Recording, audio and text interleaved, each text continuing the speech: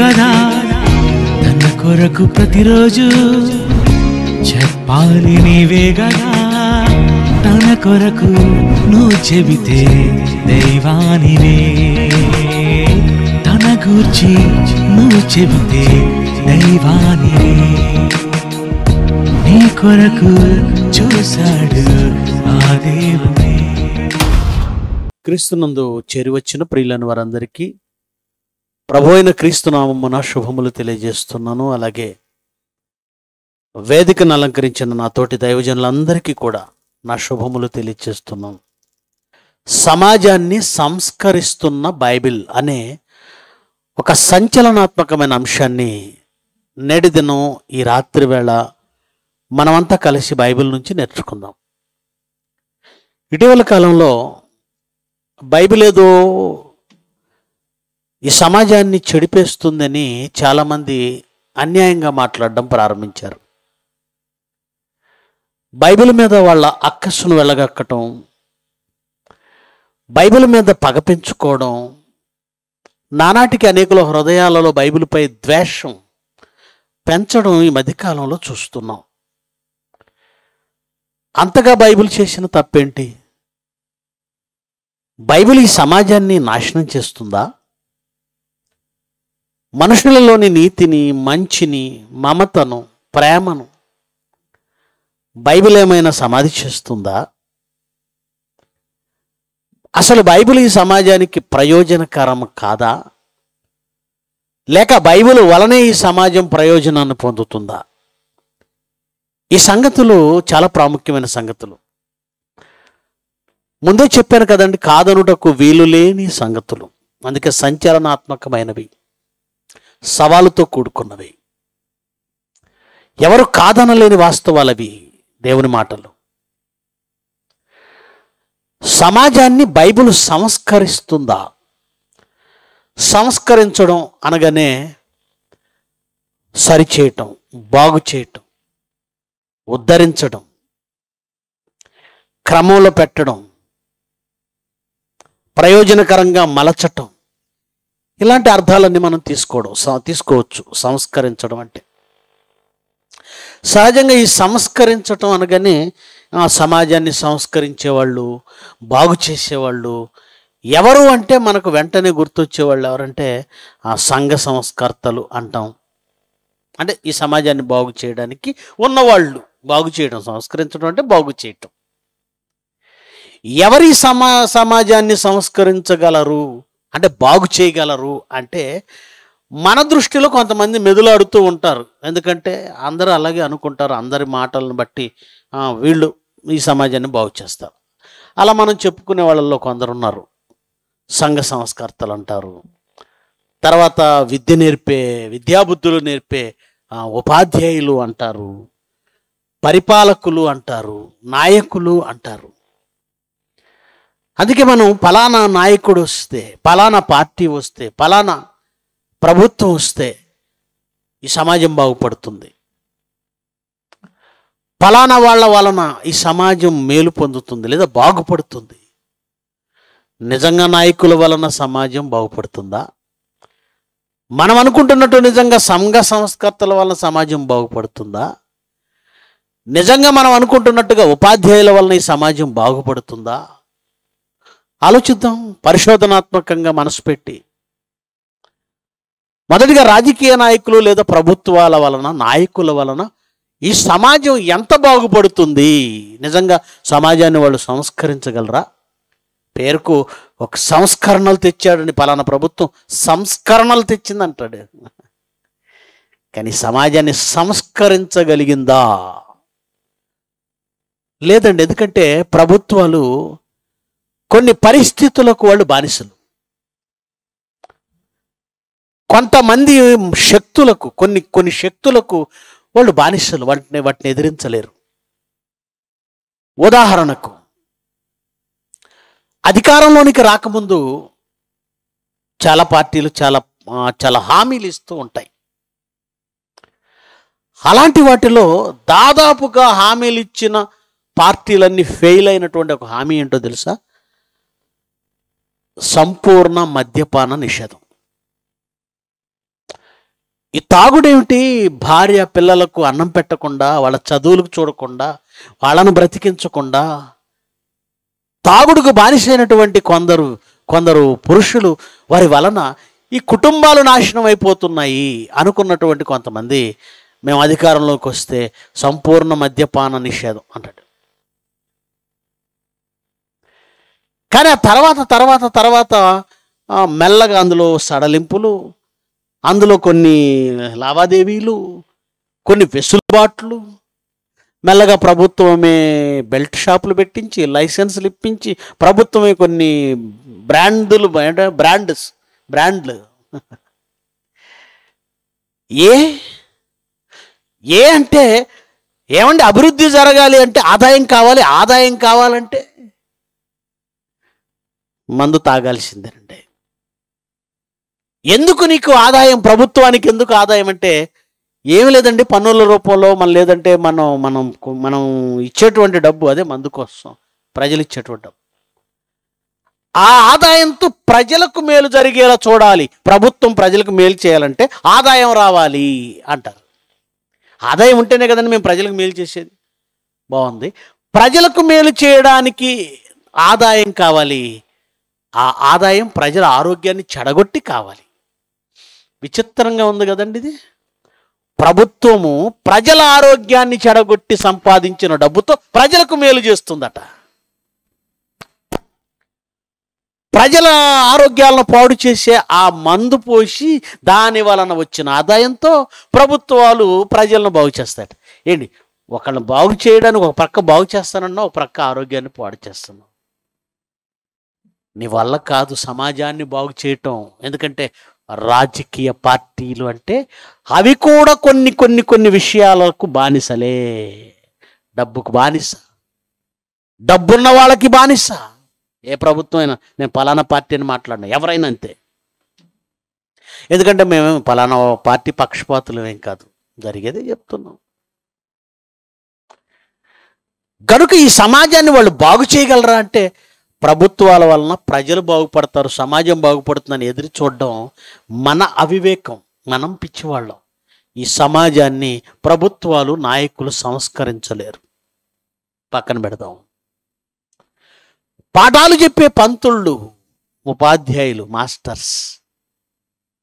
వాళ్ళెంతవరకు ఈ సమాజాన్ని సంస్కరించగలరు అంటే ఎక్కువ మాట్లాడాల్సిన అవసరం లేదండి. ఇటీవల కాలంలో పాఠశాలల్లో కానీ కళాశాలల్లో కానీ వస్తున్నటువంటి కంప్లైంట్స్ కేసులు.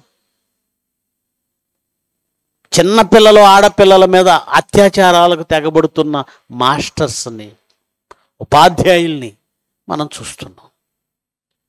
విద్యాబుద్ధులు చెప్పి తండ్రిలా భావించి తండ్రిలా వ్యవహరిస్తూ పిల్లలను త- తమ బిడ్డల్లా చూడవలసినటువంటి పాఠశాలలో విద్యార్థుల మధ్య విద్యార్థుల ఉపాధ్యాయుల మధ్య ఎలాంటి పరిస్థితులు నెలకొన్నాయో నేను విడమర్చి చెప్పాల్సిన అవసరం లేదు. ఏమంటే మంచి మంచి సమాజానికి రేపటి భవిష్యత్తుకు రేపటి భావి భారతానికి పునాది పడేది పాఠశాలల్లోనే అని మేధావులు అన్నారు. కానీ ఈరోజు పాఠశాలలలో నిజంగా భారతదేశపు భావి పునాదులు భావి తరాలు నిజంగా రూపుదిద్దుకుంటున్నాయా అంటే ఈ చదువులు నేర్చుకుని వాళ్ళు ఏం చేస్తున్నారో తెలుసా? ఈ చదువులు ఏం ఏం ఎంత నేర్పాయి? వీళ్ళ ఈ చదువులు వాళ్ళకి ఎంత సంస్కారం నేర్పాయి? ఒక ఎగ్జాంపుల్ చెప్తాను మీకు. ఓ పాతికేళ్ళ క్రితం ఒక పాతికేళ్ళు వెనక్కి వెళ్తేనండి మన దేశంలో మన రాష్ట్రంలో ఈ చదువు మీద పెద్దగా అవగాహన లేదండి. ఒక పాతికేళ్ళు ముప్పై ఏళ్ళు వెనక్కి వెళ్ళిపోతే ఏదో కాస్త పిల్లాడు పదేళ్ళు వచ్చినాయి అంటే వాడిని ఏ ఏదో ఒక పనికి పొలానికి లేదంటే పశువులు కాయడానికి. ఏదో ఒక ఆదాయం కుటుంబం గడవాలంటే వేడి నీళ్ళకు చన్నీళ్ళు తోడు అన్నట్లుగా ఏదో వాడు ఒక రూపాయి తీసుకొస్తే చాలు అనుకునేవాళ్ళు. కానీ ఇప్పుడు అలాంటి పరిస్థితులు లేవండి. ఖచ్చితంగా ప్రతి కుటుంబంలో ప్రతి తల్లి ప్రతి తండ్రి తమ బిడ్డలను చదివించాలనుకుంటున్నారు. ఎంత పేద తండ్రి అయినా ఎంత పేద తల్లి అయినా. మేమెటు చదవలేదు కానీ మా పిల్లలు గొప్ప చదువులు చదవాలి. ఏదో నామకార్థంగా చదవటం కాదు. గొప్ప చదువులు చదవాలని అనుకుంటున్నారు. చదివిస్తున్నారు. చదివించని కుటుంబాలు ఏమి లేవండి. అందరు చదువుతున్నారు. మొత్తానికి చదువు వచ్చేసింది. టోటల్గా టోటల్గా ఆంధ్రప్రదేశ్ అంతా చదువుకుంటున్నారు. చదువు లేని వాళ్ళు ఎవరు? రైట్. మరి చదువు చెప్పారు. చదువు సంస్కరించిందా? సంస్కారం నేర్పిందా? సమాజాన్ని సంస్కరించిందా? అంటే ఎంత సంస్కరించిందో రోజు మనం చూస్తున్న వార్తలను బట్టి అర్థమవుతుంది. ఎంత సంస్కరించిందంటే కోరుట్ల అని ఈ మధ్యకాలంలో జరిగిన ఒక సంఘటన చెప్తున్నానండి. కోరుట్ల. అదేనండి తెలంగాణలో కోరుట్ల అనే ప్రాంతం. అమ్మ నాన్న ఊరికెళ్ళారు. వాళ్ళిద్దరికి ఇద్దరు ఆడపిల్లలు. బాగా మంచిగా చదివించారండి. బాగా చదివిస్తున్నారు. చదివిస్తున్నారు. చదువుకుంటున్నారు వీళ్ళిద్దరూ. అమ్మా నాన్న ఎప్పుడైతే ఊరికెళ్ళిపోయారో అక్క చెల్లితో అంటుందట చెల్లి వడక తెచ్చుకుందామా వడక అంటే మందుబాట్లు దగ్గుమందు కాదు. నాన్న ఆ వాయి నాయిస్ రాకుండా చూడతండి చూసారా?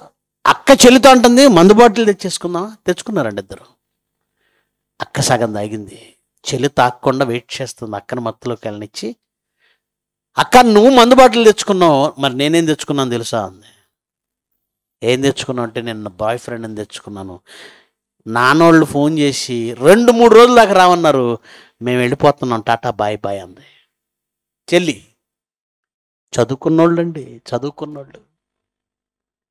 అప్పుడు అక్కకి కొంచెం ఆ మత్తులోనే చెల్లేదో చెల్లి ఆ, వెళ్ళిపోతుంది అనేది అర్థమైపోయి అడ్డుకుంది మీరు వెళ్ళడానికి వెళ్ళేదని మీరు వెళ్ళడానికి వీల్లేదని అక్క అడ్డుకుంటే ఆ చెల్లి తన ప్రియుడితో కలిసి ఈ అక్కను చంపి వెళ్ళిపోయారు. చంపేశారండి. తల్లిదండ్రులు ఇద్దరేమో పని మీద వేరే ఊరు వెళ్ళిపోయారు. సంస్కారం నేర్పుతుంది చదువు మేము నేర్పని మంచి నేర్పుతుంది పాఠశాల మేము చెప్పలేని విద్యాబుద్ధులు చెబుతుంది పాఠశాల అని పాఠశాలకు పంపిస్తే ఈరోజు ఎలా ఉన్నారో చదువుకున్నటువంటి విద్యార్థులంటే అక్కని చెల్లె తన ప్రియుడితో కలిసి చంపి ఆ రూమ్లో పడేసి రక్తం మడుపులో పడేసి చంపేసింది. వెళ్ళిపోయారు. అక్కడి నుంచి నాటకం మొదలుపెట్టింది. అక్కడ నేను ఎందుకు చంపుతాను? మొత్తానికి ఇది లాగారు చంపింది వాళ్ళే ఏది సంస్కారం? సంస్కారం ఏది? చదువు సంస్కారం చెప్పగలదా? అది నీ భ్రమ.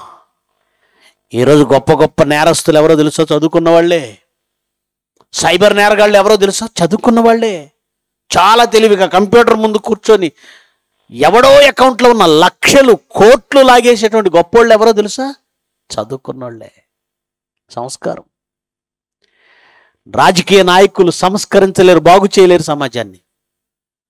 చదువులు చదువు చెప్పేటువంటి విద్యాబుద్ధులు నేర్పేటువంటి ఉపాధ్యాయులు సమాజాన్ని సంస్కరించలేరు. మన భ్రమలు కదండి. ఈ భ్రమలన్నీ విడిపోవాలంటే ఇవన్నీ చెప్పాలి నేను. భ్రమలు విడిపోవాలంటే ఇవన్నీ చెప్పాలి. ఇక మరో క్యాడర్ ఎవరు అంటే సంఘ సంస్కర్తలు. పూర్వకాలంలో సంఘ సంస్కర్తల గురించి మనకు మాట్లాడతాను. ఇప్పుడు మాట్లాడతాను. ఇప్పుడున్నటువంటి సంఘ సంస్కర్తలలో ఒక రెండు పేర్లు నాకు ఈ మధ్య కాలంలో స్త్రీలలోనండి రెండు పేర్లు. ఒక పేరు ప్రియా చౌదరి అనే ఒక ఆవిడ. మీరు యూట్యూబ్ చూస్తే సోషల్ యాక్టివిస్ట్ ఆవిడ. Social activist psychiatrist. Social activist అంటే ఏం లేదండి సమాజ సంస్కర్త అని సామాజిక శాస్త్రవేత్త అని. అలాగే దేవి అని మరొక ఆవిడ. వీళ్ళు ఎలా మాట్లాడతారు? వీళ్ళ వర్షన్ ఏంటో చెప్తాను వినండి. సమాజాన్ని సంస్కరించే గొప్పోళ్ళు కదా వీళ్ళు? ముఖ్యంగా ప్రియా చౌదరి అనే ఒక ఆవిడ ఒక విషయమై మాట్లాడుతుందండి. ఏ విషయమై అంటే సుప్రీంకోర్టు ఈ మధ్య కాలంలో ఒక తీర్పు ఇచ్చింది సుప్రీంకోర్టు ఒక తీర్పు ఇచ్చింది ఆ తీర్పు ప్రకారం వ్యభిచారమును వృత్తిగా కలిగిన వారి విషయంలో పోలీసులు కఠినంగా వ్యవహరించకూడదు. వాళ్ళని ఇబ్బంది పెట్టకూడదు. ఎవరిని? రైతులను కాదు. రోజు కూలి వా- రోజువారి కూలీల గురించి కాదు చెప్తున్నది. విద్యార్థుల్ని ఇబ్బంది పెట్టకండి అంటే పర్వాలేదు. రైతుల్ని ఇబ్బంది పెట్టకండి పోలీసులారా అంటే పర్లేదు. కూలీలను ఇబ్బంది పెట్టకండి అంటే పర్లేదు. ఆడవాళ్ళని ఇబ్బంది పెట్టకండి పిల్లల్ని ఇబ్బంది పెట్టకండి అంటే పర్వాలేదు. సుప్రీంకోర్టు కల్పించుకొని ఇచ్చిన తీర్పు ఏంటంటే వ్యభిచార వృత్తిని చేస్తూ రెడ్ లైట్లో ఉన్న వారిని పోలీసులు ఇబ్బంది పెట్టకండి. వారికి ఆ స్వాతంత్రం ఇవ్వండి వాళ్ళకి లైసెన్స్ ఉంది అని సుప్రీంకోర్టు చెప్పింది. ఈ మాట వినగానే మనకి ఎలా ఉంటుందండి? అదేంటండి? వ్యభిచారం అంటే ఎంత పాపం అది? అలాంటిది సమాజాన్ని నాశనం చేసేది? సమాజాన్ని నాశనం చేసేది? ఒకప్పుడు ఎయిడ్స్ అనేటువంటి వ్యాధి వచ్చింది. దేనివల్ల వ్యభిచారం వల్ల కదా? వ్యభిచారం వల్ల ఎయిడ్స్ అనే వ్యాధి ప్రపంచాన్ని చుట్టుముట్టేసింది. ఇప్పటికీ ఆ ఎయిడ్స్కి మందు లేదు కదా? ఇలాంటి దానికోసం సుప్రీంకోర్టు ఇలా తీర్పియడం ఏంటని నీలాంటి వాళ్ళు నాలాంటి వాళ్ళు ఎవరో పెద్ద మనుషులు మాట్లాడతారు కదా? కానీ ఈ ప్రియా ప్రియ చౌదరి అనే ఆవిడ మాట్లాడుతుందండి. ఏం మాట్లాడుతుంది తెలుసా? సుప్రీంకోర్టు ఇచ్చినటువంటి తీర్పులో తప్పే ఉందండి. తప్పు లేదట. సుప్రీంకోర్టు ఇచ్చినటువంటి తీర్పులో తప్పే ఉంది. ఇలా తప్పని మాట్లాడుతున్నటువంటి వాళ్ళు అంటే నాలాంటి వాళ్ళు పాస్టర్ గారు లాంటి వాళ్ళు మీలాంటి వాళ్ళు పెద్ద మనుషులు ఇదేంటండి? ఇలాంటి భయంకరమైన తప్పుల్ని సమర్థిస్తుంది సుప్రీంకోర్టు అని మాట్లాడతామే. వాళ్ళను ఉద్దేశించి ఆవిడ అంటుంది అర్థజ్ఞానంతో మాట్లాడేవాళ్ళు మాట్లాడే వాళ్ళు కొందరు ఉంటారు అరాకొర జ్ఞానంతో మాట్లాడే వాళ్ళు ఉంటారు సుప్రీంకోర్టు వాళ్ళను సపోర్ట్ చేసిందంటే ఊరికే సపోర్ట్ చేయలేదు. ఎందుకు సపోర్ట్ చేస్తుందో తెలుసా అంది. ఏం చెప్తుందా అని విన్నానండి. వాళ్ళు లేకపోతే అలాంటి వాళ్ళు లేకపోతే ఈ సమాజంలో ఇంకా అత్యాచారాలు పెరిగిపోయేవి. వాళ్ళు ఉండడం వలనే ఈ సమాజంలో కొన్ని అత్యాచారాలు తగ్గాయి అంటుంది. ఒక ఆడది అయి ఉండి సుమారుగా అరవై ఏళ్ళ వయసు ఉండి అలా ఎలా మాట్లాడుతుందో జ్ఞానం ఉందో లేదో నాకు అర్థం కాలేదండి. వాళ్ళు మనకు సంఘ సంస్కర్తలు. అర్థమైందా? అని చెప్పిన దాంట్లో అర్థమైందా? ఈ భూమి మీద లేదంటే ఈ సమాజంలో మన సమాజంలో వాళ్ళు ఉండడం వల్లనే కొన్ని అత్యాచారాలు తగ్గుతున్నాయట.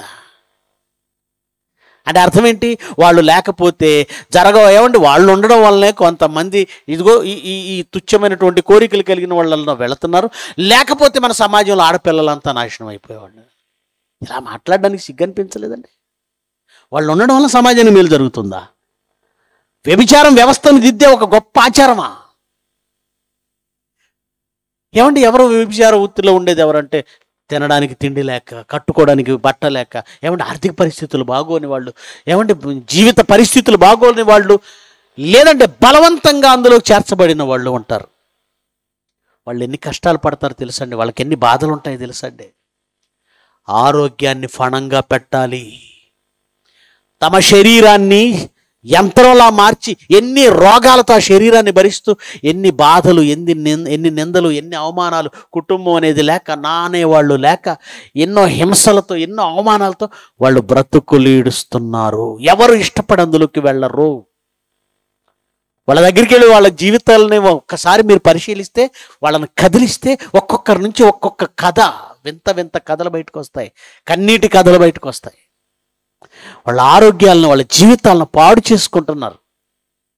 ఈవిడ అంటుంది అలాంటి వాళ్ళు ఉండడం వల్ల సమాజం బాగుంది.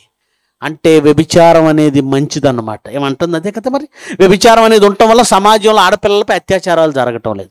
పైగా ఏమంటే ఒక వ్యవస్థ ఉందండి మనకి తెలంగాణలో ఇప్పటికీ ఉంది. దేవదాసి వ్యవస్థ లేదా జోగిని వ్యవస్థ. జోగిని వ్యవస్థ అన్న దేవదాసి వ్యవస్థ అన్న అంతా ఒకటేనండి. ఏమి లేదండి.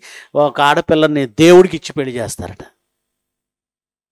దేవుడికి ఆల్రెడీ ఒక పది మంది భార్యలు ఉంటారు. మళ్ళీ వీళ్ళందరూ కలిసి ఏం చేస్తారు? ఒక అమ్మాయిని తీసుకెళ్ళి దేవుడికి పెళ్ళి చేస్తారట. అదొక పవిత్రమైన కార్యం అట దేవుడికి పెళ్ళి చేయడం ఏంటంటే అని అంత ఆశ్చర్యపోకండి. దేవుడి పేరు చెప్పి దాని వెనక జరిగేది వేపించారు ఆ అమ్మాయి దేవుడికి పెళ్ళి చేయబడిందంటే అర్థం ఏంటంటే ఆ ఊరిలో ఎవరైనా ఆమెతో వెళ్ళొచ్చు. ఆమె ఉమ్మడి సొత్తు.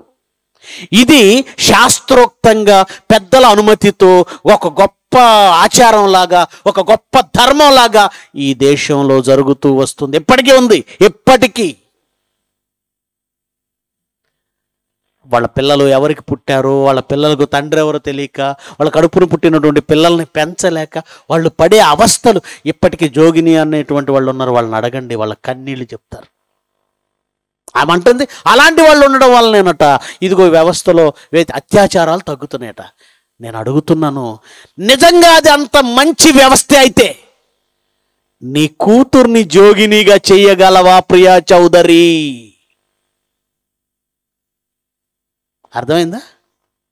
ఎవరుంటారు ఈ వృత్తిలో? ఎవరుంటారు? ఈ పడుపు వృత్తిలో ఎవరుంటారు? ఈ జోగినీలుగా ఎవరుంటారు? ఎవరో కూటికి గతి లేని వాళ్ళు నేమండి తక్కువ కులాల జాతి తక్కువ జాతి డబ్బు లేని వాళ్ళు అణగారిన వాళ్ళు నా అనే దిక్కు లేని వాళ్ళు ఏం చేసినా చెప్పుకోలేని వాళ్ళు వాళ్ళని తీసుకెళ్ళిపోయి వ్యభిచార వృత్తిలో పెడతావు?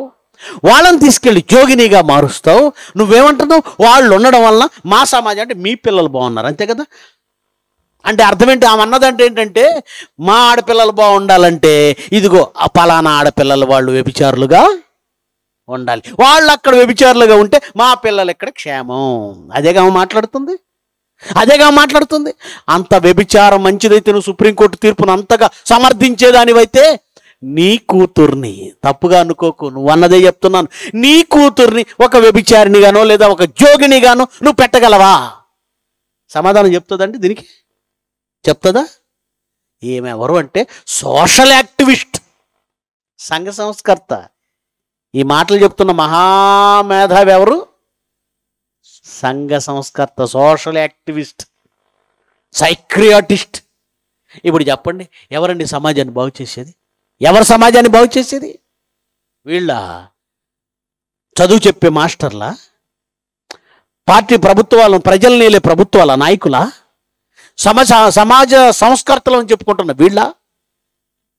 వీళ్ళెవరికి మంచి అంటే ఏంటో తెలియదు ఒకవేళ మంచి ఏంటో తెలిసినా పరిస్థితులకు ఎదురొడ్డి నిలబడి ధైర్యంగా సమాజాన్ని మార్పు తెచ్చేవాడు వీళ్ళల్లో ఎప్పుడూ లేడు.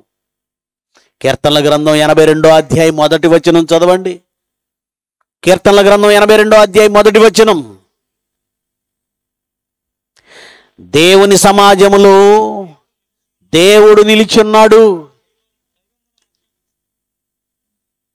సమాజం దేవునిది. ఏమన్నాడు? దేవుని సమాజంలో దేవుడు నిలిచి ఉన్నాడు. సమాజం దేవుడిది. దైవముల మధ్య ఆయన తీర్పు తీర్చుతున్నాడు. తీర్పు. సమాజం దేవుడిదైనప్పుడు దాన్ని సంస్కరించేవాడు కూడా దేవుడేనండి. బాగు చేసేవాడు దేవుడు. మనం చరిత్రలో కొంతమంది గురించి మాట్లాడుకుంటూ ఉంటామండి. సంఘ సంస్కర్తలని. మీరు చదువుకున్న వాళ్ళు కదా కొన్ని కొందరి పేర్లు చెప్పండి సంఘ సంస్కర్తలని. మొదటి పేరు మనకు గుర్తొచ్చేది ఏంటో తెలుసా? రాజా రామ్మోహన్ రాయ్. ఈ దేశంలో ఒక వ్యవస్థ ఉండేదండి. మొన్న ఈ మధ్యకాలంలో నుండి స్టాలిన్ ఉదయనిధి స్టాలిన్. ఎవరు? కరుణానిధి మనవడు. స్టాలిన్ మనం స్టాలిన్ కొడుకు. ఇప్పుడున్న ముఖ్యమంత్రి ఉన్నాడు కదా? తమిళనాడు ముఖ్యమంత్రి ఎవరు? స్టాలిన్. స్టాలిన్ కొడుకు ఉదయనిధి ఒక మాట అన్నాడండి. ఏంటా మాట అంటే సతీ సాగమనం అనేది ఒక దురాచారం దాన్ని నిర్మూలించాం. అంటరానితనం ఒక దురాచారం దాన్ని నిర్మూలించాం. ఏమండి? కన్యాశుల్కం ఒక దురాచారం అలాగే సనాతన ధర్మం అనేది ఒక దురాచారం దాన్ని నిర్మూలిద్దాం అన్నాడండి వెంటనే ఒక స్వామీజీ ఏమన్నాడో తెలుసా? అతన్ని తల తెస్తే పది కోట్లు. ఈ సమాజాన్ని నాశనం చేసేది ఏదన్నది తీసేయటం మంచిది అన్నాడు.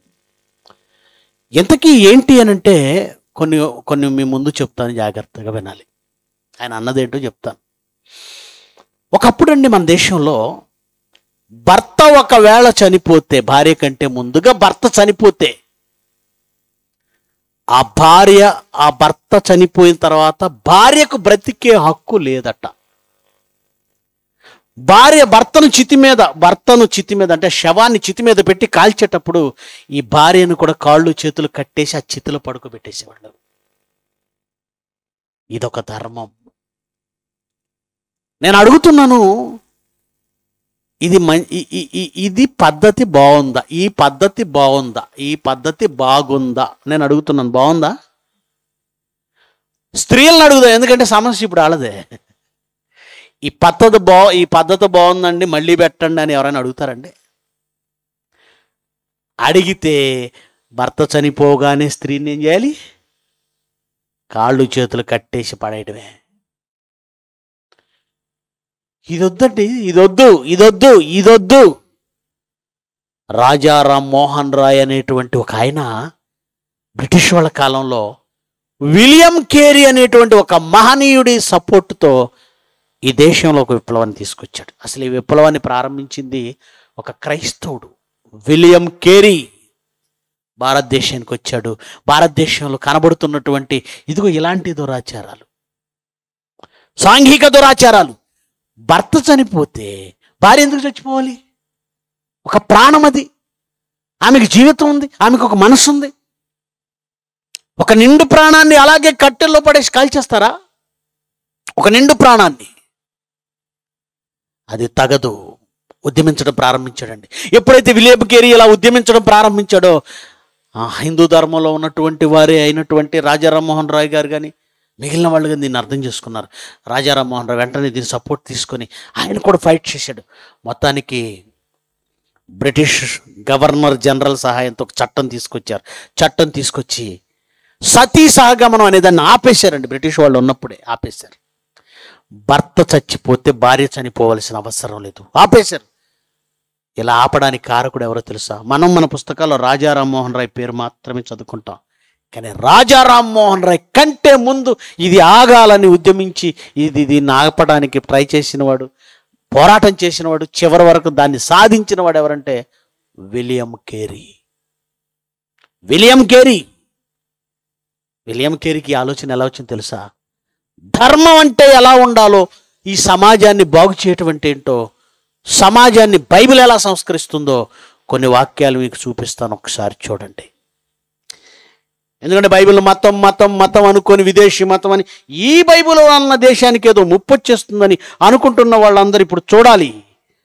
కొరిందీలకు రాసిన రెండవ పత్రిక అపోస్తుడైన పౌలు. కొరింతి పట్టణానికి రాసిన ఉత్తరంలో ఐదవ అధ్యాయము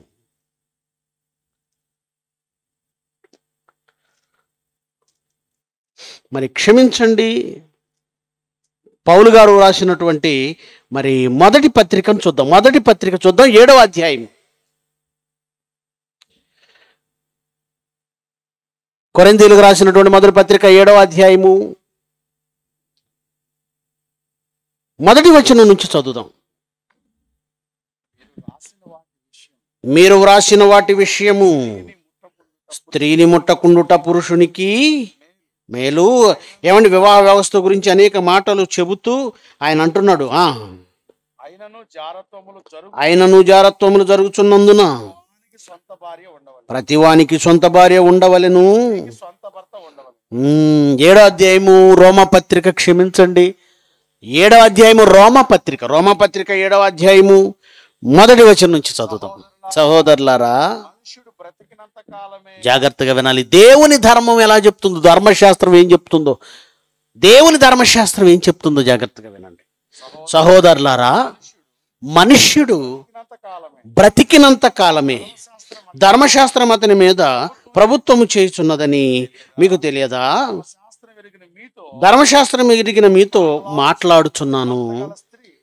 ధర్మశాస్త్రములో దేవుడేం రాయించాడు చెబుతూ భర్త గల స్త్రీ భర్త బ్రతికి ఉన్నంత వరకే భర్త బ్రతికి ఉన్నంత వరకే శాస్త్రం అతనికి బద్దురాలు ధర్మశాస్త్రము వలన అతనికి బద్దురాలు. భర్త భర్త బ్రతికున్నంత వరకే ఆమె అతనికి చెందింది అతనికి బద్దురాలై ఉండాలి. ఒకవేళ భర్త చనిపోతే చనిపోయిన ఎడల భర్త విషయమై ధర్మశాస్త్రం నుంచి ఆమె విడుదల పొంది చట్టం నుంచి విడుదల పొంది. భర్త బ్రతికి ఉండగా ఆమె వేరొక పురుషుణ్ణి పెళ్ళి చేసుకుంటే అది వ్యభిచారం అవుతుంది కానీ భర్త చనిపోయిన ఎడల ఆమె ధర్మశాస్త్రము చట్టం నుండి విడుదల పొందిన గనుక వేరొక వివాహం పురుషుణ్ణి వివాహము చేసుకొనవచ్చు. ఆమె వ్యభిచారం అవ్వదు భర్త చచ్చిపోతే భర్తతో పాటే చావమన్నటువంటి తప్పుడు సిద్ధాంతాలు ఉన్న ఈ దేశంలో సతీ సాగమనం పేరుతో మనుషుల నిండు ప్రాణాలను తీస్తున్న కాలంలో బైబిల్ను చదివినటువంటి విలియం కేరీ భర్త బ్రతికున్నంత వరకే నాయన ఆమె ఆయతనికి భర్తురాలు. భర్త చచ్చిపోతే ఆమె మరో పెళ్ళి చేసుకోండి. మరో పెళ్ళి చేయండి ఆమెకి. కందుకూరి వీరేశలింగం పంతులు అనేటువంటి ఒక మహానుభావుడు వితంతు వివాహాలను ప్రోత్సహించాడని మనం చదువుకున్నాం. ఏమండి ఎందుకో తెలుసా? ఒకనాడు పరిస్థితులు ఎలా ఉండేవి మన దేశంలో? పన్నెండేళ్ళు కూడా కాదు పదేళ్ళు ఏడేళ్ళు ఎనిమిదేళ్ళ పసిపిల్లలకు డెబ్బై ఏళ్ళ ముసలాండి ఇచ్చి పెళ్ళి చేసేవాళ్ళు మనకి ఇవన్నీ తెలియదండి చాలా మారింది చాలా మార్పు వచ్చింది. ఇంత మార్పు భారతదేశంలో రావడానికి కారణం క్రైస్తవ మిషనరీలు ఎంత కష్టపడ్డాయి తెలుసా అండి? క్రైస్తవ మిషనరీలు ఎంత కష్టపడ్డాయి తెలుసా? విద్య లేని దేశానికి విద్య వైద్యం లేని దేశానికి వైద్యం. ఇలాంటి దురాచారాలన్నింటినీ విలియం కేరీ అనేటువంటి ఆయన అలాంటి ఎన్నో దురాచారాలను ఆయన రూపుమాపితే మనలో నెమ్మది నెమ్మదిగా నెమ్మది నెమ్మదిగా నెమ్మది నెమ్మదిగా మార్పు వచ్చి ఇప్పుడు లేవండి అవి. కానీ ఆ రోజుల్లో ఏడేళ్ళు ఎనిమిదేళ్ళు తొమ్మిదేళ్ళు పదేళ్ళు ఆ పిల్లలకి డెబ్బై ఏళ్ళ ముసలోని పెళ్ళి చేసేవాళ్ళు. ఆ పాప టీనేజ్లోకి వచ్చే టైంకి ఆ ముసలాడు చచ్చిపోయాడు. అలా ముసలాడు చచ్చిపోతే భర్త చచ్చిపోయాడు గనక జీవితాంత వైధవ్యం మోస్తూనే ఉండేది ఆ పసిపాప జీవితాంతం విధవగానే బ్రతకాలి. అలా శాసించినటువంటి ధర్మాలు. దేవుడు అన్నాడు ఇది క్రీస్తు ఏమండి? క్రీస్తు పూర్వం సుమారుగా రెండు వేల సంవత్సరాలకు పదిహేను వందల సుమారుగా క్షమించండి. ఇప్పటికి మూడు వేల ఐదు వందల సంవత్సరాల క్రితం రాయబడిన ధర్మశాస్త్రంలో దేవుడేం రాయించాడు తెలుసా నాయన? ఒక స్త్రీ భర్త చచ్చిపోతే ఆ భర్తతో పాటు ఆమెను కట్టి కాళ్ళు చేతులు కట్టేసి చంపేయండి అనలేదండి తప్పు. ఒక ప్రాణం తీసే హక్కు మీకు లేదు. భర్త చచ్చిపోతే భార్యకు బ్రతికే హక్కు ఉంది. ఆమెకు మరో వివాహం చేయండి. ఎంత అభ్యుదయం వాళ్ళు అభ్యుదయం అభ్యుదయమైనటువంటి ఉన్నతమైన భావాలు బైబిల్ అండి. ఉన్నతమైన భయ- భావాలు కలిగినది. కందుకూరి వీరేశలింగం పంతులు గారు ఎప్పటివారు? బైబిల్ ఎప్పటిది? విలియం కేరీ ఎప్పటివాడు బైబిల్ ఎప్పటిది రాజారాం మోహన్ రాయ్ ఎప్పటివాడు బైబిల్ ఎప్పటిది బైబిల్లో దేవుడు రాయించాడు. అసలు బైబిల్ రాయబడింది ఎందుకో తెలుసా? ఎందుకో తెలుసు ఈ సమాజాన్ని బాగు చేయడానికి ఇది ఇలాగే ఉంచండి. తిమోతికి రాసిన పత్రిక చదువుతుంది. ఇది ఇలాగే ఉంచండి.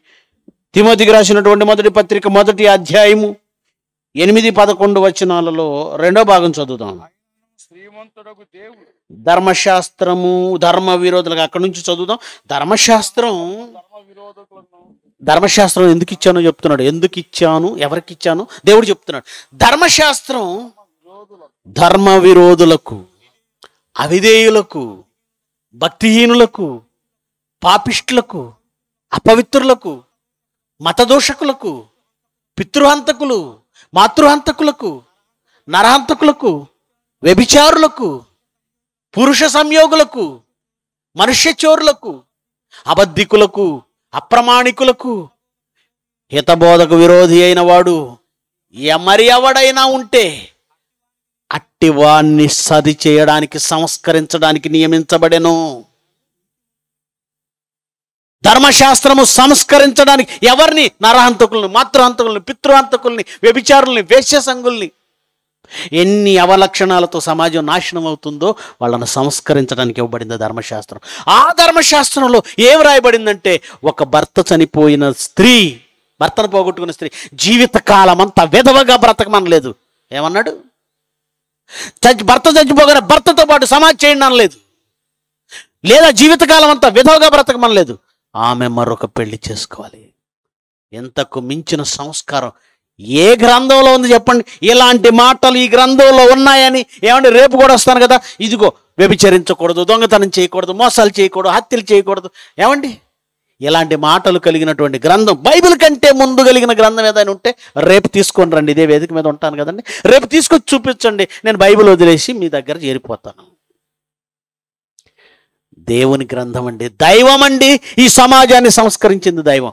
అలాగూ సతీ సహగమనం అనేది బైబిల్ని బట్టి ఈ దేశంలో నామరూపాలు లేకుండా పోయింది. కేవలం బైబిల్ని బట్టి. బాల్య వివాహాలు కూడా అండి. చిన్నపిల్లలకు పెళ్ళి చేయటాలు అనేవి కూడా మేమండి ఒప్పుకోలేదండి రాజా రామ్మోహన్ రాయ్. అది కూడా రాజారామోహన్ రాయ్ బైబిల్ చదివాడు. బైబిల్ను చూసిన తర్వాత అతను తీసుకున్న సాహసోపేతమైన నిర్ణయం ఏంటో తెలుసా? సాహసోపేతమైన నిర్ణయం. బైబిల్లో ఉన్న ఈ ఉత్తమమైన ధర్మం మన గ్రంథాల్లో కూడా ఉండాలని ఆ ధర్మాన్ని వాళ్ళ గ్రంథాల్లో పెట్టడానికి ప్రయత్నిస్తే ఇక్కడ ఉన్నటువంటి చాలామంది ఆయన్ని వ్యతిరేకించారు. చివరి దశలో వాళ్ళని తట్టుకోలేక ఇంగ్లాండ్ దేశం వెళ్ళిపోయి ఇంగ్లాండ్లో చనిపోయాడండి. రాజారామ్మోహన్ రాయ్ ఆయన చరిత్ర చూడండి. ఎక్కడికి వెళ్ళిపోయాడు ఆయన? అవసా అవసాన దశలో ఈ దేశం వదిలి ఎక్కడికి వెళ్ళిపోయాడు?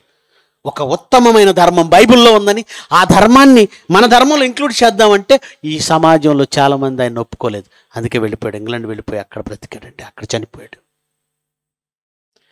సమాజాన్ని సంస్కరించి ఈరోజు ఈ సతీ సహగమనం అనే భయంకరమైన ఆచారం. ఆ లేదండి మాకు కావాల ఆచారం అని తెచ్చి ఉన్నవాళ్ళు ఎవరైనా ఉన్నారా? ఆ? ఉదయం నీ- నీది స్టాలిన్ తల తెగ నరికిన వాడికి వంద పది కోట్లు ఇస్తాడట. ఏమండి నరకటం ఏంటండి? నేనున్నాను సేవకుణ్ణి. రాంబాబు గారు తల తెగ నరిగితే పది కోట్లు ఇస్తానని అనుకోండి అప్పుడు మీరు ఏమంటారు ఏం ఛాలెంజ్ చేశాడు సంతోష్ గారు అంటారా? అసలు ఆయన పాస్టరా రౌడీ షెట్టరా? ఒక దైవజనుడు దేవుని ప్రతినిధి అయిన వాడు నరకడం ఏంటి? అయినా ఇతనికి పది కోట్లు ఎందుకు? ఎక్కడివి? అంటారా? అనరా సహజంగా. ఒక స్వామీజీ దేవునికి ప్రతినిధిగా పూజ చేసేవాడు. ఈ నరకటం ఏంటి? పది కోట్లు రివార్డ్ ఏంటి? ఏమన్నా అర్థం ఉందా? ఎవరికో పది కోట్లు ఇవ్వడం ఈయన వెళ్ళొచ్చుగా? వెళ్ళడు. ఏంటో? ఇక మరొక భయంకరమైన దురాచారం ఏంటో తెలుసా అంటే జోగిని వ్యవస్థ. అదేనండి ఒక ఆడపిల్లని తీసుకొచ్చి దేవుడికి పెళ్ళి చేయటం. దేవుడికి పెళ్ళి చేయడం ఏంటండి? దేవుడికి పెళ్ళి ఏంటండి? ఆ? ఆమెను దేవుడికి పెళ్ళి అనే పేరుతో జో ఒక జోగినిగా దేవదాసిగా మార్చేసి ఊరంతా వ్యభిచరిస్తారు ఆమెతో. అది ధర్మమా అది? అదే ధర్మం? దాన్ని దాన్ని సమర్థిస్తుంది. ఇదిగో ఈమె. ఎవరు? సంఘ సంస్కర్త అని పేరు పెట్టుకుంది. సామాజిక శాస్త్రవేత్త అని పేరు పెట్టుకుంది. ఏంటి వాళ్ళు ఉండడం వలన నీ పిల్లలకు క్షేమంగా ఉంటారా? ఏమన్నా ఆలోచన ఉందా? అంటే నువ్వు క్షేమంగా ఉండాలని ఎవరో బలైపోవాలా? వాళ్ళు మనుషులు కాదు. వాళ్ళు మళ్ళా బ్రతకే హక్కు లేదా వాళ్ళకి? మనం బాగుండడానికి మన పిల్లలు బాగుండడానికి వాళ్ళు వ్యభిచార వృత్తి చేస్తూ గడపలా? ఎలా ఉంది అంటే మనుషులు ఎలా తయారయ్యారంటేనండి ఒక చెడును నిర్మూలించలేక దానితో దానితో సహజీవనం చేసేస్తున్నారు. ఉదాహరణ పంతొమ్మిది వందల తొంభై ఆరు తొంభై ఐదు తొంభై ఆరు తొంభై ఏడు తొంభై ఎనిమిది ఆ ప్రాంతాల్లోనండి ప్రపంచాన్ని చుట్టుముట్టేసిందండి ఎయిడ్స్. ఇప్పుడంటే మనం నింఫీ వైరస్ అట ఇప్పుడు తమిళ ఇది నిఫా వైరస్ మలయాళం మలయాళీకి కేరళ. ఈ నిఫా వైరస్ చుట్టు పెడుతుంది అంతకుముందు మనకి. ఎల్లో వైరస్ వచ్చింది బ్లాక్ వైరస్ వచ్చింది కరోనా మొత్తం కరోనా ఎఫెక్ట్. కానీ పంతొమ్మిది వందల తొంభై ఆరు తొంభై ఏడు తొంభై ఎనిమిది తొంభై తొమ్మిది రెండు వేల ఈ సంవత్సరాల్లో ప్రతి గోడ ఏ గోడ మీద చూసినా పులిరాజాకి ఎయిడ్స్ వస్తుందా? వాళ్ళ బాబుకి కూడా వస్తుంది. అంటే ఎయిడ్స్ మీద అవగాహన కలిగించడానికి పులిరాజాకి ఎయిడ్స్ వస్తుందా? ఏమంటే ఎయిడ్స్ ఎందుకు వచ్చిందంటే ఈ వ్యభిచారం వలనే ఈ ఈ విచ్చలవిడి శృంగారం వలనే. వ్యభిచారించొద్దు అని చట్టం చేసిన ప్రభుత్వాన్ని చూపించండి. వాళ్ళు ఏం చేశారు తెలుసా అండి? పెద్ద హోర్డింగ్ దాని మీద అమితాబ్ బచ్చన్ గారు నిలబడతారు. ఆ పక్కన ఏదో ఇంటూ గుర్తులాగా ఉంటుంది. డైలాగ్ ఏంటో తెలుసు? ఆయన మాట్లాడుతున్నాడు. మీరు ఆ సమయంలో కండోము వాడండి. మీరెందుకు తప్పు చేయాలి? అని అడగట్లేదండి ఎవడు కూడా. ఎందుకు అడగడంటే ఏమండి ఒక దొంగ వచ్చి ఇంకో దొంగ నిన్ను దొంగతనం చేయకంటే ఏమంటాడు? పెద్ద చెప్పొచ్చేలేరా నీ బతుకు నాకు తెలియదా అంటాడు. అంతేనా? ఒక వ్యభిచారి ఇంకో వ్యభిచారిని చూసి నువ్వు వ్యభిచారం మానుకో అంటే ఏమంటది? ఏమంటది? ముందు నీ చక్కదనం చూసుకో అంటది. ఈరోజు నువ్వు తప్పు చేయకనే ధైర్యం ఏ నాయకుడికి లేదు. ఎందుకంటే ఈ నాయకులే పార్లమెంట్లో కూర్చొని బూతులు చూస్తూ ఉంటారు. వీడు ఇంకోటికి వ్యభిచరించొద్దని చెప్పగలడా? ఇదిగో నువ్వు దొంగతనానికి వచ్చావు నేను దొంగతనానికి వచ్చాను. ఎవరు అరవద్దు ఎవరికి చెప్పొద్దు ఇద్దరం దోచుకున్నంత దోచుకొని వెళ్ళిపోదాం. దొంగలు ఇదే కదా మాట్లాడుకుని దొంగ దొంగ ఎదురైతే? ఇద్దరు దొంగలే ఎవడెవడికి మంచి చెప్తాడు? అందుకని వీళ్ళు ఏమన్నా నువ్వు అలాంటి నేను అలాంటి వాడు ఒక పని చేద్దాం వద్దని చెప్పుకునేంత స్థాయి మన ఇద్దరికి లేదు కానీ అదిగో ఆ త్రికోణం ప్యాకెట్ తీసుకొని జాగ్రత్తగా వాడుకుందాం. ఇదే. దీన్ని ఏమంటారో తెలుసా? అడ్జస్ట్మెంట్. ఈడ ఇలాంటి వాళ్ళు అండి సమాజాన్ని సంస్కరించేది. అయితే ఆడవ్వాలి లేదంటే మగవ్వాలి. అయితే అవునవ్వాలి లేదంటే కాదవ్వాలి. కానీ వీళ్ళు ఇచ్చే సలహా ఎలా ఉందో తెలుసా? నువ్వు చెయ్యి కానీ ఏమో ఏం వాడాలి? సేఫ్టీ వాడు. ఇలాంటి వాళ్ళు సమాజాన్ని సంస్కరించగలరా? కానీ బైబిల్లో మన దేవుడు వ్యభిచరించితే రాళ్ళతో కొట్టండి. అది సమాజాన్ని సంస్కరించడం అంటే. వ్యభిచరిస్తే రాళ్ళతో కొట్టండి. వ్యభిచరించకూడదు. వ్యభిచరించకూడదు. అది సమాజాన్ని బాగు చేసేవాడు చెప్పే మాట. అర్థమైందా? ఇక జోగిని వ్యవస్థ దేవదాసి వ్యవస్థ దేవుడి ఏమండి? దేవుడి పెళ్ళి చేయటం ఏంటండి ఆ మాటే చాలా సిల్లీగా ఫన్నీగా ఉంది. ఏమండి? లేవియా కాండము పంతొమ్మిదో అధ్యాయం ఒకసారి చూడండి. లేవియా కాండం పంతొమ్మిదో అధ్యాయం ఇరవై తొమ్మిదో వచ్చిన చూడండి. దేవుడు సమాజాన్ని సంస్కరించేవాడి చట్టాలు ఎలా ఉంటాయో సమాజాన్ని గాలి కొదిలేసి వాళ్ళ స్వార్థాన్ని చూసుకునే ప్రభుత్వాలు ఎలా ఉంటాయి? ఈ మాట తేడా చూడండి. లేవే కాండము పంతొమ్మిదో అధ్యాయం ఇరవై తొమ్మిదో వచనం. మీ దేశము వ్యభిచరింపకయు దుష్కామ ప్రవర్తనతో నిండకయు ఉండునట్లు.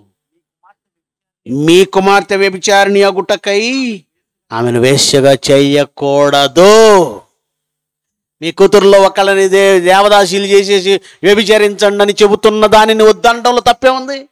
ఉదయనే వద్ది స్టాలిన్ ఏమన్నాడు? ఇలాంటివి అయితే వద్దన్నాడు? మీ పిల్లల్ని దేవదాసిగా చేసేసి జోగినికి చేసేసి ఊరంతా వ్యభిచరిస్తే వచ్చింది అదే ఎయిడ్స్ వచ్చింది అందుకే. దేవుడు అన్నాడు మీ దేశం దుష్కామ ప్రవర్తనలో పడకూడదు. వ్యభిచరించకూడదంటే మీ కుమార్తెలలో ఎవ్వరు వేశ్యగా నువ్వు మార్చకూడదు. వేశ్యవ్వకూడదు. ఇంకేమన్నాడు అదే లేవేకాండం ఇరవై మూడో ద్వితీయోపదేశకాండం చూద్దాం. ద్వితీయోపదేశకాండం ఇరవై మూడో అధ్యాయము పదిహేడవ వచనం. ద్వితీయోపదేశకాండం ఇరవై మూడో అధ్యాయం పదిహేడవ వచనం. ఇస్రాయేలు కుమార్తెలలో యవతియు వేశ్యగా ఉండకూడదు. మిగతా వాళ్ళు ఉండొచ్చారు కదా వాళ్ళు చెబితే వినటం లేదు. అన్య జనులైన వాళ్ళు వాళ్ళు చెబితే వినడం లేదు. అందుకే చట్టం ఇస్రాయల్కి ఇచ్చి మీరైనా నా మాట వినండి. మీరెవ్వరు మీ పిల్లల్లో ఎవరిని వేశ్యగా చేయకూడదు. వేశ్యగా చేయకూడదు. దేవదాసి అనే వ్యవస్థే ఉండకూడదు. అది బైబిల్. అది బైబిల్.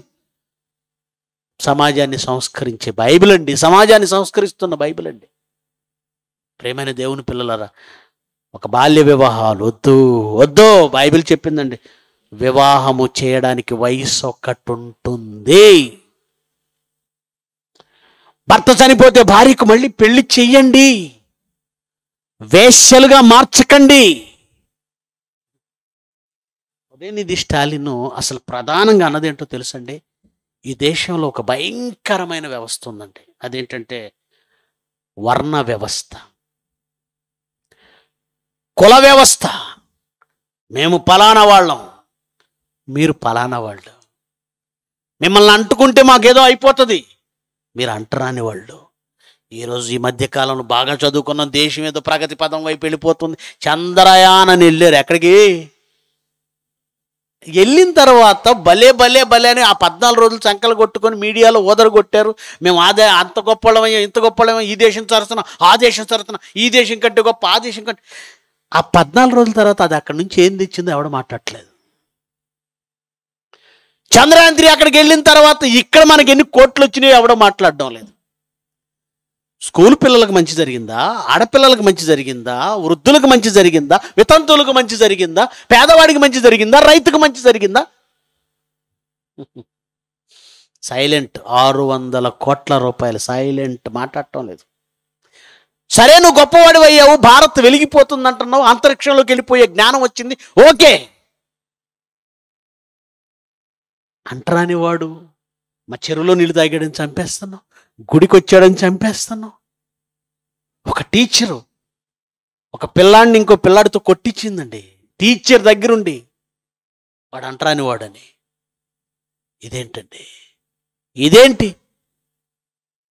మనుషులంతా దేవు ఒక్కడిని ఒక ఒక మనుషులందరూ ఒక్కడి నుంచి వచ్చిన వాళ్ళండి. దేవుని నుంచి పుట్టిన వాళ్ళు అందరు సమానం కదా? దేవునిలో నుంచి వచ్చిన వాళ్ళు అందరూ సమానం కదా? కాదట. ఒకళ్ళు గొప్పవాళ్ళట ఒకళ్ళు తక్కువ వాళ్ళట వాళ్ళని ముట్టుకోకూడదంట వీళ్ళని ముట్టుకోకూడదట. ఇలాంటి వ్యవస్థను బైబిల్ చీల్చి చెండాడిందంటే బైబిల్ ఏం చెప్పింది తెలుసు? సమాజాన్ని సంస్కరించే దైవం దేవుడు. ఆయన ఎలాంటి ఉత్తమమైన సంగతులు బైబిల్లో రాయించాడు చూస్తారా? గలతి పత్రిక.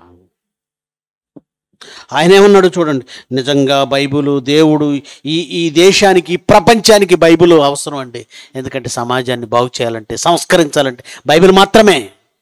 గలతి పత్రిక. మూడవ అధ్యాయము ఇరవై ఏడవ వచనం.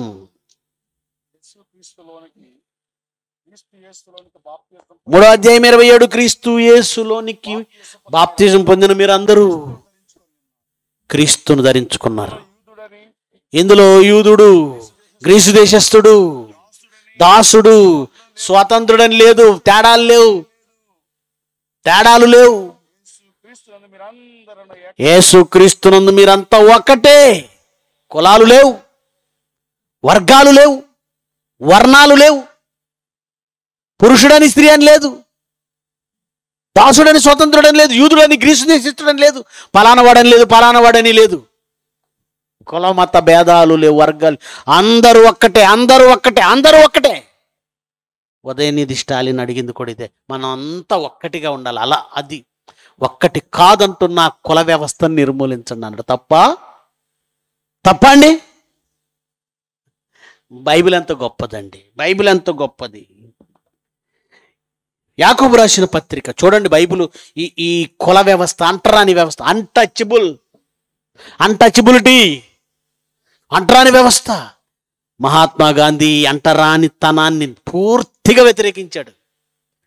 పుస్తకాలలో టెక్స్ట్ బుక్కులు వెనకాల అంటరానితనం నేరం అని రాసుకున్నావు కానీ ఈరోజు ఎప్పుడో మానిపోయిన పుండు మళ్ళీ రేగుతున్నట్టుగా ఇప్పుడు చాలామంది మళ్ళీ ఇదే బాట పట్టారు. వీడు అంటరాని వాడు వాడు అంటరాని వాడు మధ్యప్రదేశ్లో అనుకుంటానండి రాజస్థాన్లో.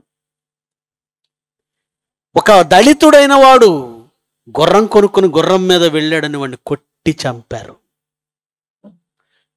దళితుడైన వాడు కారు కొనుక్కొని మా ముందు తిరిగాడని వాడు కారు ధ్వంసం చేసి వీడిని కొట్టారు విపరీతం కొట్టారు. ప్రాణం పోయేంతగా. బైబిల్ ఏముంటుందో చూడండి. యాకో పత్రిక రెండవ అధ్యాయము. మొదటి నుంచి చదువుదాం మొదటి నుంచి చదువుదాం వేగంగా చదవండి. నా సహోదరులారా మన మహిమా స్వరూపు మన ప్రభు అయిన యేసుక్రీస్తుని గుర్చిన విశ్వాస విషయంలో మోమాటం గలవారై ఉండకండి. బైబుల్ తన దగ్గర ఉన్నటువంటి వారికి ఎలా బోధ చేస్తుందో చూడండి. మీరు మోమాటాల పోకండి. ఎలాగంటే బంగారు ఉంగరము పెట్టుకుని ప్రశస్తమైన కద్దరు బట్టలు ధరించుకొని బంగారు ఉంగరం పెట్టుకొని ఒక్కడు మందిరంలోకి ప్రవేశిస్తాడు. అదే టైంలో మురికి బట్టలు కట్టుకొని ఒక పేదవాడు కూడా లోపలికి వస్తాడు. అప్పుడు అప్పుడు మీరు ప్రశస్త వస్త్రములు అంటే మంచి ఖద్దరు చొక్క మంచి ఇస్త్రీ చొక్క నలగని చొక్క ప్రశస్తమైన వస్త్రాలు కట్టుకొని బంగారం పెట్టుకొని ఉంగరాలు పెట్టుకొని దిగిన వాడిని చూసి వాడిని సార్ రెండు రెండు పూల బుచ్చు పూలగుచ్చాం పుష్పగుచ్చాం వెల్కమ్ చెబుతూ రండి అని సన్మానించి ఇదిగోండి మీరు మీరు వేదిక మీద కూర్చోవాలి. మీరు సార్ లేదంటే మీరు ఇదిగో ఇదిగో ఇదిగో ఇది స్పెషల్ గెస్ట్లకు వేయబడిందో లేదంటే స్పెషల్గా పెద్దలకు వేయబడినదో అన్ని మీరు ప్రత్యేకమైనటువంటి ఆసనాన్ని అతనికి ఇచ్చి ఆ దరిద్రంతో మాత్రం నువ్వు అక్కడే ఉండు. లేదంటే రా ఇదిగో కింద కూర్చో మా కాళ్ళ దగ్గర కింద కూర్చో.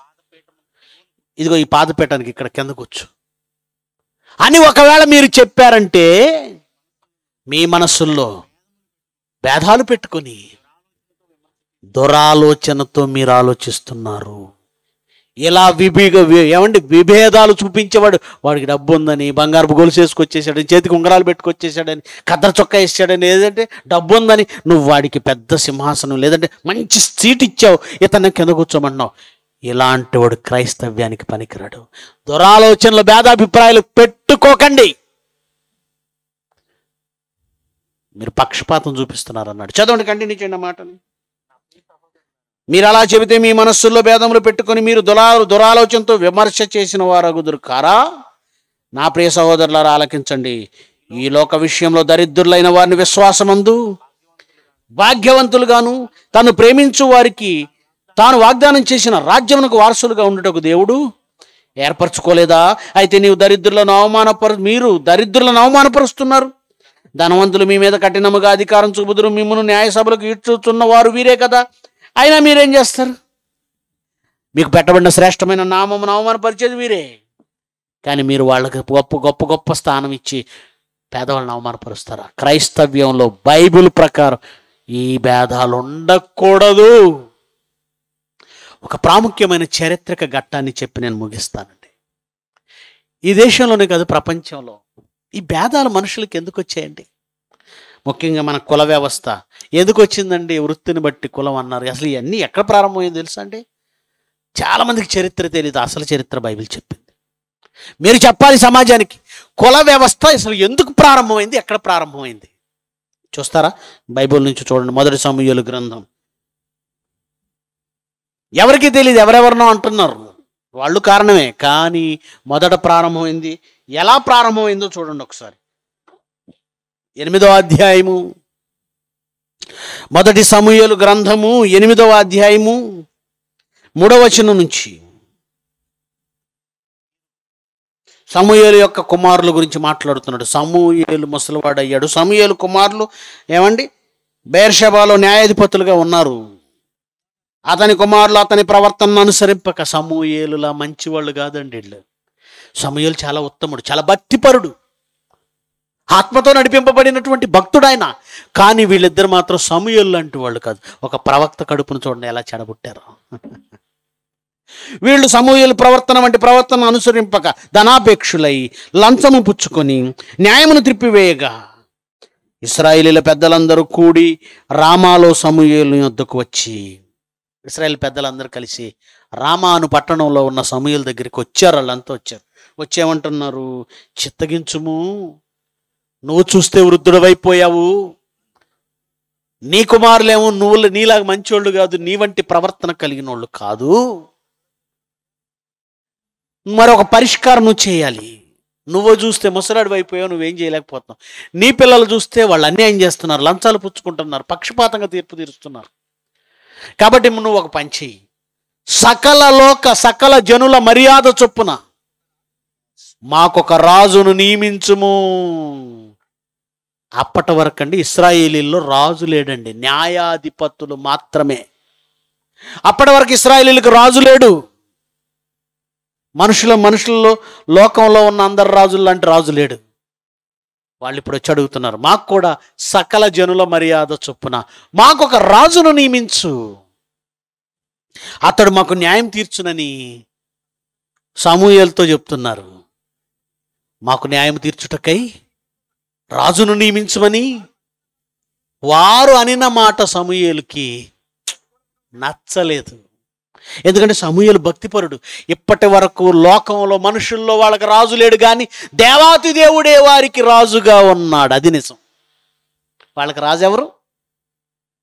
లోకంలో ఉన్న జనులందరికీ రాజులు ఎవరు? ఆరు అడుగుల ఆకారం అరవై కేజీల డెబ్బై కేజీల బరువు శరీరంలో కండలు ఎముకలు నరాలు వాళ్ళే. కానీ వీళ్ళకి రాజు ఎవరు? దేవాతి దేవుడు. అది వాళ్ళు గ్రహించట్లేదు. సమూహలకు ఆ విషయం తెలుసు. వాళ్ళు ఒక మనిషిని రాజుగా పెట్టమంటున్నారు. నచ్చలేదు. దేవుడి దగ్గరికి వెళ్ళాడు. దేవుడిని అడిగాడు. అప్పుడు దేవుడు ఏమంటున్నాడు చూడండి. ఏమండి? జన ఇది ఎనిమిదో వచనం. ఎనిమిది కాదండి. ఏడో వచనం ఏడో వచనం. దేవుడిని అడిగాడు. అప్పుడు ఏడో వచనంలో దేవుడు ఏం చెప్తున్నాడు చూడండి.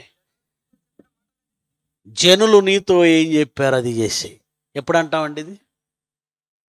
విసిగిపోయినప్పుడు వాడు ఏం చేయ వాడి వాడికి ఏం అడిగితే వాడికి ఇచ్చేయండి అంటాం. బిలాము కూడా వెళతాను వెళతాను వెళతానని మాటి మాటికి ఇసుకిస్తున్నాడు. మొదట చెప్పినప్పుడు వద్దురా అన్నాడు. వద్దురా అన్నప్పుడు ఆగాల? నువ్వు వెళ్ళకూడదు బిలాము దగ్గరికి. ఆ వచ్చే జనం నా జనం నువ్వు చెప్పించకూడదని మొదటిసారి చెప్పాడు వినలేదు. మళ్ళీ రెండోసారి దేవుణ్ణి విసిగిస్తున్నాడు నేను వెళతాను వెళ్ళమంటావా వెళ్ళమంటావా? వెళ్ళన్నాడు. వెళ్ళన్నాడు. వెళ్ళన్నాడు కదా అని చంకలు గుద్దుకుంటూ బయలుదేరాడు. వెనకాల దేవదూతను పిలిచి ఒక పెద్ద కత్తి ఇచ్చి ఆ నేషయ్యని పంపాడు. దేవదూత ఒక పెద్ద కత్తి తీసుకొని బిలామనేసేద్దామని వచ్చేసింది. బాలాకురాజు దగ్గరికి వెళుతున్నాడు. దేవుణ్ణి విసికిస్తే ఆయన అంటాడు వాళ్ళకి రాజు కావాలా? వాళ్ళు ఏం కోరుకుంటున్నారు? ఇచ్చేసేయి. వారు ఎందుకు నువ్వు నువ్వెందుకు బాధపడతావు? సమయంలో నువ్వెందుకు బాధపడతావు? నిన్నేమైనా ప్రవక్తగా వద్దన్నారా? వారు నిన్ను విసర్జించలేదు. బాధపడవలసింది నేను. ఎందుకంటే తమ్మును ఏలకుండా నన్ను విసర్జించారు వాళ్ళు నన్ను వద్దనుకుంటున్నారు వారు నన్ను విసర్జించి ఇతర దేవతలను పూజించి నేను ఐగుప్తులో నుంచి వారిని రప్పించిన నాటి నుండి నేటి వరకు తాము చేయించి వచ్చిన కార్యములన్నిటి ప్రకారముగా వారిని ఎడల జరిగించుచున్నారు. వారు చెప్పు మాటలు అంగీకరించు. అయితే వారిని ఏలబో రాజు ఎట్టివాడగును నీవే సాక్షివై వారికి దృఢంగా తెలియచేయి. వాళ్ళకి రాజు కావాలి కదా? ఇస్తాను. ఓకే. కానీ ఒక మాట చెప్పు. వాళ్ళను ఏలబోయే రాజు ఏం చేస్తాడు? చెప్పు అన్నాడు. తర్వాత చూడండి ఏం చెప్తున్నాడు పదో వచనం నుంచి. పదకొండవ వచనం నుంచి. పదకొండవ వచనం. ఎలాగును చెప్పిన మిమ్మును ఏలబోవు రాజు ఎట్టివాడగుననగా రాజు కావాలా? రాజు కావాలన్నారు కదా ఇప్పుడు రాజు ఏం చేస్తాడో చూడండి. మిమ్మును ఏలబోవు రాజు ఎట్టివాడగుననగా అతడు మీ కుమారులను పట్టుకొని తమ రథ తన రథములను తోలుటకు అంటే మీ కుమారులు కొందరు గుర్రాలు తోలేవాళ్ళు అయిపోతారు. నెక్స్ట్ కొంతమందిని గుర్రాలు కాయడానికి అంటే కొంతమంది పొలం దోలికెళ్ళాలి వాళ్ళను సెట్ చేస్తాడు. ఎవరు సెట్ చేస్తారు? రాజు. నెక్స్ట్. మీ ఇస్రాయలీలో కొందరు అతను రథముల ముందర పరిగెత్తే వాళ్ళు కొంతమంది ఉంటారు. నియమించుకుంటాడు. నెక్స్ట్. మరియు వారు వారిని అతడు ఏం చేస్తాడు? తన సైన్యంలో సహస్రాధిపతులు పంచదశాధిపతులు నియమిస్తాడు. వినండి పనులలో కా ఏమండి? పనులు వృత్తుల్లో పెట్టేస్తున్నాడు. వృత్తుల్లో మీరు నా రథములను తోలాలి మీరు నా గుర్రాలను కాయాలి మీరు నా రథం ముందు పరిగెత్తాలి మీరు తన భూములను దున్నడానికి మీరు భూములు దున్నేవారు మీరు పంట కోసేవారు. కొంతమంది యుద్ధాయుధాలను తయారు చేయాలి రథముల సామాన్లు తయారు చేసేవాళ్ళు కంసాలు అవ్వాలి. చూసారా ఎక్కడ విభజన మనుషుల విభజన అప్పటి వరకు అండి నిజంగండి ఇస్రాయిల్లో అందరూ రాజులే. ఎవడు ఎవడికి తలవంచలేదు ఎవడు ఎవడి దగ్గర సలాం కొట్టలేదు దేవుడే రాజుగా ఉండి అందరిని పిల్లలందరినీ ఎవరికి వాళ్ళు తలెత్తుకొని ఎవరు ఎవరి దగ్గర తల వంచకుండా బ్రతికినట్టుగా చేశాడు. కానీ ఇప్పుడు వాళ్ళు రాజును కోరుకోవటం వలన రాజు వచ్చేమన్నాడు తెలుసా? మీరు నా రథాలు తోలాలి. వీళ్ళ వృత్తే వృత్తి రథములు తోలే వృత్తి. ఇక వాళ్ళ పిల్లలు కూడా మీరు రథములు తోలేవాళ్ళు మీరు రథములు తోలేవాళ్ళు మీరు రథాలు. ఇంకో కొంతమంది గుర్రాలను కాయాలి. అంటే కాయ కాసేవాళ్ళు వాళ్ళు. పశువులను కాసేవాళ్ళు అవ్వాలి. ఇంకొంతమంది రథముల ముందు పరిగెత్తేవాళ్ళు. ఇంకొంతమంది భూమిని దున్నేవాళ్ళు. ఇంకొంతమంది ఆ యుద్ధాయుధాలు తయారు చేసే కంసాలు. మీ కుమార్తెలను భక్ష్యకారులు వంటోళ్ళు వంటోళ్ళుగా తయారు చేస్తాడు. బోనకత్తెల పాత పానం తయారు చేసేవాళ్ళు గాను. రొట్టెలు కాల్చువారుగా పెట్టేస్తాడు. వృత్తిగా విభజించి ఆ మనుషులకు ఇదే మీ వృత్తి మీ బ్రతుకిదే అని నిర్ణయించిన వాడు ఎవడో తెలుసా? రాజు. అవే కదండి కులాలు. కులాలు ఎక్కడి నుంచి వచ్చాయి? వృత్తిని బట్టి కులాలు. వృత్తిని బట్టి కులాలు. ఇలా మనుషులందరూ సమానంగా దేవుని పరిపాలనలో సుభిక్షంగా ఉన్న కాలంలో రాజును కోరుకోవడం వలన ఆ రాజు వచ్చి మనుషుల్ని విడదీశాడు.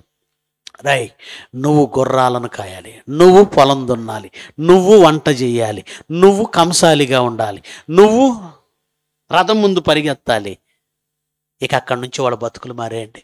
మనం రథాలు తోలేవాళ్ళం అదొక కులం మేము ఈ పనులు ఏది ఈ ఈ- ర- ఏది ఈ రథముల యొక్క వస్తువులు అలాగే ఆయుధాలు తయారు చేసేవాళ్ళం. మేము పొలాలు దున్నేవాళ్ళం. ఇలా ప్రపంచంలో దేవుణ్ణి విడిచిపెట్టిన తర్వాత రాజరికపు వ్యవస్థ మనుషుల్ని విభజించేసింది. రాను రాను అవి కులాలుగా మారే. ఆ కులాలను దృఢపరిచి ఒక్కొక్కడు ఒక్కొక్క విధానంలో అమెరికాలో అది వర్ణ వ్యవస్థ అయింది. మన ఇండియాలో కుల వ్యవస్థ అయింది. ఒక్కొక్క ప్రాంతంలో ఒక్కొక్క రకంగా ఉంది అది. అలా మనుషుల్ని విభజించేశారు. ఇప్పుడు అర్థమైందా? కుల వ్యవస్థ మొదట ఎక్కడ ప్రారంభమైంది? రాజరికము ప్రారంభమైనప్పుడే ప్రారంభమైంది. దాన్ని పెంచి పోషించిన వారు మనం మాట్లాడుకునే వాళ్ళు వృత్తులుగా వాళ్ళు మార్చి మీరు పలానా వృత్తికి చెందిన వాళ్ళు నువ్వు చెప్పులు కుట్టరా? నువ్వు బట్టలు నేయరా? నువ్వు కొండలు చేయరా? నువ్వు వ్యవసాయం చేయరా? నువ్వు యుద్ధం చేయరా? చూసారా ఇలా రాజు దేవుణ్ణి కాదనుకున్న మనుషులు ఎలా విడిపోయారు? దాని మీద కాస్త తెలివైన వాడు పెత్తనం చేస్తూ వీళ్ళందరినీ కొంతమందిని అంటరాని వాళ్ళు అన్నాడు. దేవుడు అన్నాడు నాయన మీరంతా ఒక్కటే నాయన. క్రీస్తు యేసునందు స్త్రీ అని లేదు పురుషుడని లేదు వీడని లేదు వాడని లేదు యూదుడని లేదు క్రీస్తు దేశిస్తుడని లేదు అందరూ క్రీస్తునందు ఒక్కటే. మాసిపోయిన బట్టలతో వస్తే ఏంటి? ప్రశస్తమైన వస్త్రంతో వస్తే ఏంటి? వాళ్ళిద్దరు నేను సమానంగా చూడు. సమానత్వం. సమాజాన్ని సంస్కరించాలంటే ఎవరు కావాలి? ఎవరండి? ఎవరు పార్టీలు మారితేనా? ప్రభుత్వాలు మారితేనా? ఎవ్వడు ఈ తారతమ్యాలు తగ్గించలేదు. ఈ కుల వ్యవస్థను లేకుండా చేయలేదు. ఎవ్వడు ఈ ఈ మద్యపానం లేకుండా చేయలేదు. ఎవ్వడు ఇలాంటి వ్య- వ్యభిచార పరిస్థితులు లేకుండా చేయలేదు. ఎవ్వడు ఇలాంటి దురాచారాలు లేకుండా చేయలేదు. బైబిల్ మాత్రమే చేయగలదు. దేవుడు మాత్రమే ఈ సమాజాన్ని బాగు చేయాలని దేవుడు అనుకుంటుంటే బైబిల్ని ఇలా ఈ బైబిల్ కనుక సమాజంలోకి వస్తే సమాజం బాగుపడుతుంది అనుకున్న సాతాను అడ్డుకుంటుందంటే అది విదేశీ మత పుస్తకం. రానియొద్దు. దానివల్ల సమాజం చెడిపోద్ది. రానియొద్దు. అసలు ఈ బైబిల్ లేకపోతే ప్రపంచం ఎప్పుడో సర్వనాశనం అయ్యేదండి. అంతో ఎంతో ప్రపంచ దేశాలు మన దేశం కూడా మారింది అంటే ఒక రాజారాం మోహన్ రాయ్కి స్ఫూర్తినిచ్చింది ఈ బైబిలే. ఒక విలియం కేరీ ఒక ఒక కందుకూరు వీరేశలింగం పంతులు ఒక వివేకానంద ఒక మహాత్మా గాంధీ ఇలాంటి వాళ్ళందరూ బైబిల్ చదివిన తర్వాతే ఈ దేశానికి దిశానిర్దేశం చేశారు. రూపులేఖలు మార్చారు. సమాజాన్ని సంస్కరించేది దైవం దేవుడు. సంఘ సంస్కర్తలు కాదు. ఉపాధ్యాయులు కాదు. ప్రభుత్వాలు కాదు. ఎవరు కాదు. ఇంత గొప్ప బైబిల్ మీ చేతిలో ఉందండి. చదువుతున్నారా? ఈ సమాజాన్నే మార్చగలిగినటువంటి మహాయుధాన్ని కలిగిన మీరు మీరు కూడా అందరిలా కలిసిపోయి గుంపులో ఏదో అంటారు చూసారా ఆదివారానికి మాత్రమే పరిమితమై వచ్చి వెళ్ళిపోతారా? లేదా ఈ సమాజాన్ని ప- బైబిల్ పట్టుకొని నిజంగా సమాజాన్ని సంస్కరించే నిజమైన సంస్కర్తలు మీరు క్రైస్తవుడు. వ్యభిచారులు ఉంటేనే మన బాగు మన దేశం బాగుంటుంది. మద్యం ఉంటే ఆదాయం బాగుంటుంది. ఇళ్ళు అండి మనుషులు మార్చేది బతుకులను మార్చేది. మద్యం ఉంటే ఆదాయం ఉంటుంది. వ్యభిచారులు ఉంటే మన పిల్లలు బాగుంటారు. మతి ఉందా పోయిందా? అజ్ఞానం. అజ్ఞానం ఇది వెర్రితనం ఇది లోకజ్ఞానం వెర్రితనం. అక్కడ వ్యభిచారాలు ఉంటే ఇక్కడ మీ పిల్లలు బాగుంటారా? ఇది ఎక్కడ తెలివితేటలు సమాజాన్ని మార్చు. నువ్వే ఒక గొప్ప సంఘ సంస్కర్తవే. క్రైస్తవుడు ఒక సంఘ సంస్కర్త. సమాజాన్ని సంస్కరించిన బైబిల్ దేవుడు. ప్రార్థన చేసుకుందాం. మహోన్నతుడు ఒక మా తండ్రి. మీ మాటలు విదేశీ పుస్తకం అని ఈ సమాజాన్ని ఏదో చెరిపేస్తాయని ఏదో ఈ సమాజానికి ఇది కొరకాని కొయ్య అని చాలామంది అనుకుంటున్నారు. ఈ గ్రంథమే లేకపోయి ఉంటే సతీ సహగమనం బాల్య బాల్య వివాహం అనే దురాచారం ఇలాంటి భయంకరమైనటువంటి జోగిని వ్యవస్థ వ్యభిచారం ఇలాంటివి ఎప్పుడూ సమాజాన్ని సర్వనాశనం చేసి ఉండేవి. మీ మాట మార్చింది సమాజాన్ని. బైబిల్ మార్చింది ప్రపంచాన్ని సమాజాన్ని సంస్కరించింది మీరే. ఈ నిజాలు ప్రజలు గుర్తించాలని వాస్తవాలు తెలియాలని ఆయన మీ పిల్లలు ఏర్పాటు చేసిన మహా కార్యక్రమం వేదికగా చేసుకుని మాటలు చెప్పాను. విన్నారు మీ పిల్లలు విని మరిచిపోయేవారిగా కాదు. ఈ మాటలతో అనేకులను రేపి సమాజాన్ని తీర్చిదిద్దేవారుగా ఉండటకు సహాయం చేయండి. వేల రూపాయల ఖర్చుతో మంచి కార్యక్రమాన్ని నిర్వహిస్తున్న మీ పిల్లల కష్టాన్ని దీవించండి. రేపటి దినం మంచి వాతావరణం నేడిచ్చినట్లుగానే రేపటి దినం కూడా మంచి వాతావరణం మా కొరకు అనుగ్రహించమని అర్థిస్తూ యేసుక్రీస్తు వారి శ్రేష్టమైన నామమున ఈ ప్రార్థన సమర్పిస్తున్నాము తండ్రి. ఆమెన్. మన తండ్రి అయిన దేవుని ప్రేమ కుమారుడైన యేసుక్రీస్తు వారి కృప పరిశుద్ధాత్మ దేవుని అన్యోన్య సహవాసం సకల పరిశుద్ధులకు మనకు తోడై ఉండి నడిపించునుగాక. ఆమెన్. మీ అందరికి వందనాలు.